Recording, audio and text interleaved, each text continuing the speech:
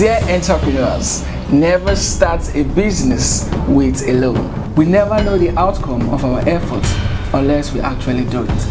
Welcome to E-Corner, where we talk about entrepreneurship, lifestyle, SME, and financial pathway. I am your host, Theophilus Ogbaigbe. Yes, welcome back to E-Corner. Well, today I'll be giving you all tips as entrepreneurs or aspiring entrepreneurs.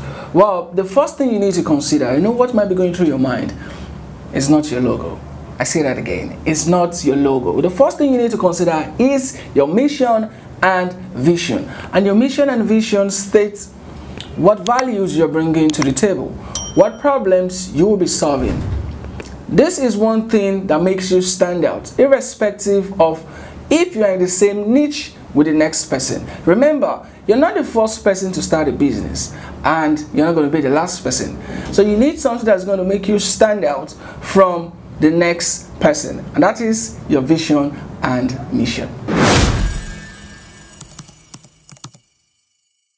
Your logo is the next thing to consider. Well, when creating your logo, you have to carefully, carefully consider this because it's part of your branding. It is part of that thing that makes you stand out. Your logo has to reflect your mission and your vision in terms of the color and in terms of the written inscription you want to have on it. And take this as a wonderful tip. Whenever you want to create your logo, create a logo that will stand the test of time. I'll give you a quick example. Check top brands you know today. You understand? They have a consistent type of logo. There's a particular thing that don't change. Even if it comes to rebranding, they are still going to retain that particular inscription, um, particular thing that make them stand out over the years. So this is one thing you need to consider when creating your logo. Have this in mind. Always build like a Roman. Yes, I usually say this. Always build like a Roman.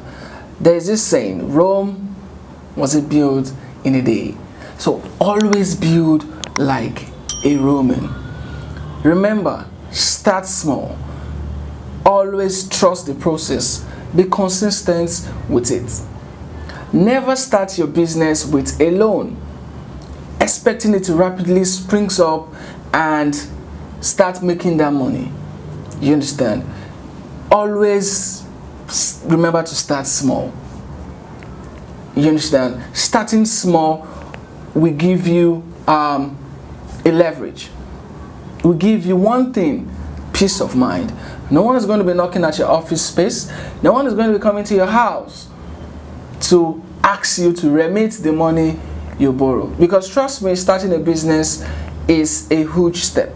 And remember, starting a business is also a risk.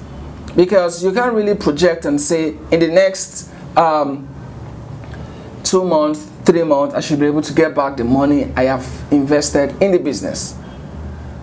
So, always try as much as possible to do what? Build like a Roman.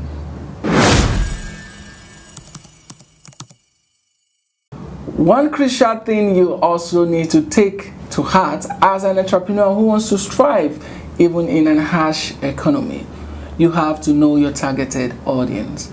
Reasons why businesses fail today is because they have no market need as entrepreneurs, you should be able to do research. You should be able to have a feasibility study that allows you know what your potential customers need, what questions are they asking, and what practical solutions do they need on their table. With this information, you'll be able to leverage on the market and also make profits. Come closer and listen to this. Take action. Never procrastinate. What did I say? Never procrastinate. Take action today. Have like a to do list which allows you to have either a short term or a long-term goal and try as much as possible to achieve it. If it's to have to advance in learning new set of skills, do that. Networking, do that. Collaborating with other um, people, creatives in other niches or your same niche, do that. Remember, the world is advancing.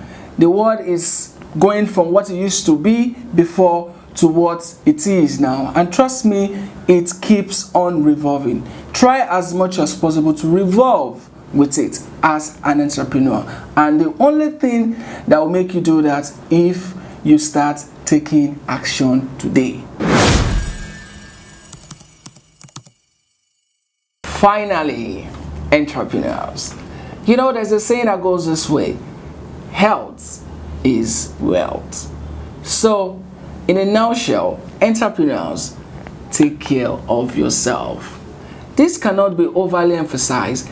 Entrepreneurs, take care of yourself. Like a pidgin word will say, body no be firewood. Try as much as possible to rest. Try as much as possible to have time for other things. You know, you are not working on a 8 to 9 or 8 to 6 schedule. You're working 24 hours a day because you are an entrepreneur. You are the alpha and omega of that particular business. So you work around the clock. So this is one reason you should have to set time for rest.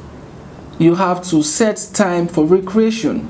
You have to set time for health matters. Always try as much as possible to check in yourself. Go to the hospital, have a personal doctor, have a nurse, whatever thing you want to have, have them in check. Try as much as possible to strike a balance between work and your lifestyle. Yes, it's a wonderful time on eCorner today. Next time is going to be yet another episode showing on Official Guru TV. Please and please and please, I want you all to hit on the subscribe button, hit on the like, and also hit on the notification icon showing so that you can be able to get updated um, information about this particular show e corner showing on official guru tv please and please if you have any questions if you have um, anything you want us to talk about you can also drop your comments on the comment section on official guru tv on our socials. I'll be showing on your screen. And for those who want to be a part of this show you can also send us an email at officialguru21 at gmail.com officialguru21 at gmail.com and also if you want to have an advert showing on this interesting show E-Corner you can also send us a mail on officialguru21 at gmail.com or you can send a message on whatsapp. The number will be showing on your screen.